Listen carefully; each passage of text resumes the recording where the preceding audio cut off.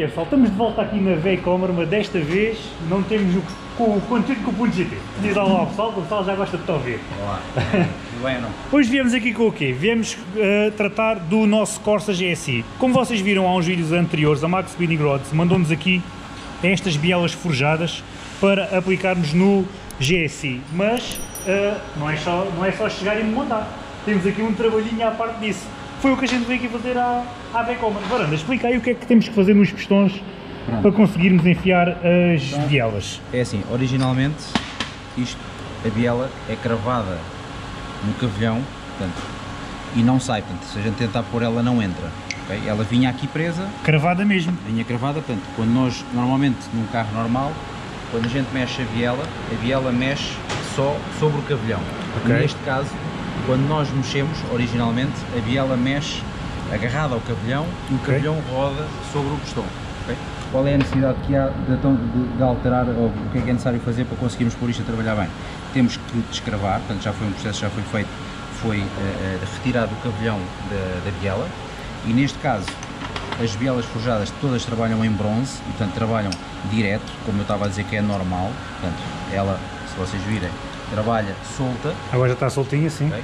e não presa eh, e portanto há necessidade de fazer esta alteração para que isto, ou seja, isto não, isto era preso e o que agarrava, eh, o que impedia a cavilha de sair daqui era o facto de estar presa na biela. O que é que nós temos que fazer? Temos que abrir uma caixa de freios aqui, ok? Os freios que tu compraste, não é? Temos Estes, estes deixa-me só fazer um, um à partezinho. Estes freizinhos que a gente vai aplicar nestes botões foi o amigo arrepiado, pedi-lhe num dia, à tarde do outro dia chegaram para a gente tentar despachar o Corsa, arrepiado, obrigadão, tentar despachar o Corsa o mais rápido possível, freizinhos da, do, do arrepiado. Pronto. Continua lá, O estavas que a é que dizer? tivemos que fazer? Tivemos que abrir esta caixa de freio, que não existia, ok? Daqui já tem o freio posto, para então impedir que depois a cavilha saia fora. Saia fora, tranca, é uma tranca, um género de É tranca, é? Exatamente. Depois vai trabalhar toda solta. Agora, quando, quando aqui o nosso eh, colaborador João Farinha eh, montar o- as bielas, vai ficar o resultado final depois podes filmar. Pronto, isto fica tudo a trabalhar solto, ok? não como de origem, eh, e portanto tem que haver estas trancazinhas. É um processo eh, mais ou menos simples, mas ao mesmo tempo é muito meticuloso. porque Sim. A caixa do freio tem que ficar à medida certa, o freio não pode ficar completamente enterrado. é- é Tem que estar tudo na medida, Tem não pode falhar um é milímetro, não é? Pois, Agora exato. o, João vai montar o. Aqui o amigo Jorge, o amigo João já é conhecido. Olá, aqui, data. o amigo João já é conhecido. Amigo João, saímos de um Fiat, vamos para um Opel. Exatamente. O segredo disto tudo é um bocadinho de óleo para isto. Para rodar tudo, para rodar tudo. É, Este não está metido, vamos pôr. Vamos pôr aqui o, o freiozinho, que é o, tal travamento que não vem de origem, Não, teve que ser feito. que é a própria cavilha que faz força na viela. Aqui vai ser ao contrário.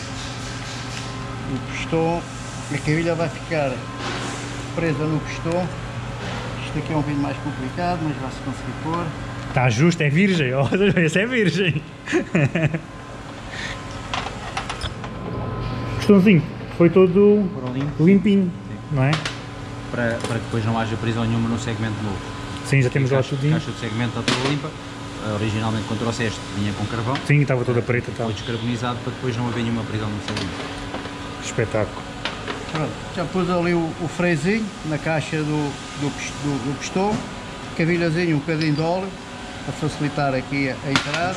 Para escorregar. Exatamente, agora vamos lubrificar aqui também o casquilho da viela, que isto convém ser tempo óleo, nunca, nunca seco, senão as primeiras voltas isto fica logo cheio a agarrar. Ficam com medo e já não querem mais. Isto leva ali e pronto, ficou aqui levezinho, como vê o pistão está sossegado e é a viola que roda aqui no cavilhão e não o contrário, o cavilhão rodar no pistão. Exato. Pronto, agora depois o freio do outro lado e acessivamente a operação feita igual em todos.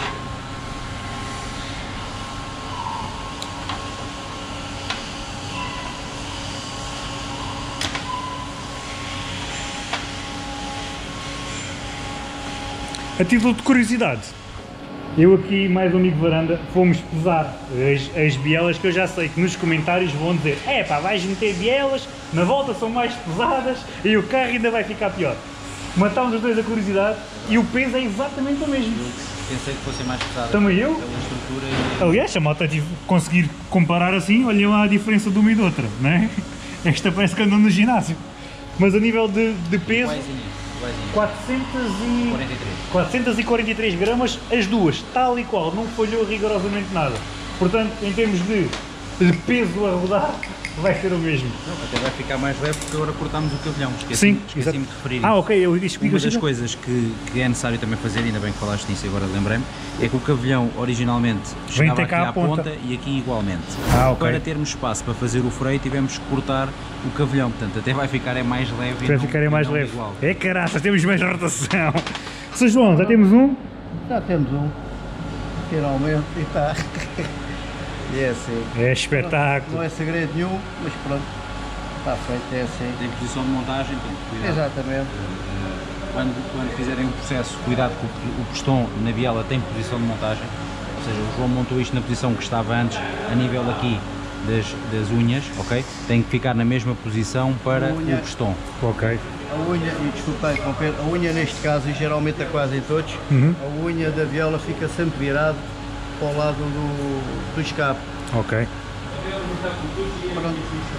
Top. Estão a ver? Estão. Tem uma formação de bola. De bola. Conteúdo de bola. Agora é só fazer o mesmo processo nos outros, não é? É, É mais do, do, do mesmo. É? Top. Varanda, mais uma vez, Obrigado. obrigado. Sou João, você é uma grande malha. Isto agora, mais uma vez no YouTube, ninguém o para agora. É assim, ah, obrigado rapaziada. Obrigadão a esta malta, sempre disponível aqui para ajudar o conteúdo do, do canal. Já fizemos um ponto .gt, fizemos outro ponto .gt e agora estamos aqui a fazer uns toquezinhos no nosso Costa GSI, que agora vai lá para o Rosa para fechar tudo. E pomos o, o abandonado. Este Costa apanhámos o abandonadíssimo. Abandonadíssimo. E vai voltar à vida. Vá, fiquem por aí. Espero que tenham gostado deste conteúdo. Subscrevam as redes aqui da Vecoma e as minhas, se quiserem. As deles têm que subscrever. As minhas é só se quiserem. Um grande abraço e um grande gás.